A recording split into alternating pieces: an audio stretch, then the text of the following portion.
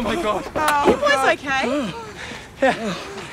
Thank you so much for stopping. Uh, what are you guys doing here? It's a long story, but basically, we were in a plane and it, it crashed. You had a plane crash? Bloody hell! Yeah, he crashed it.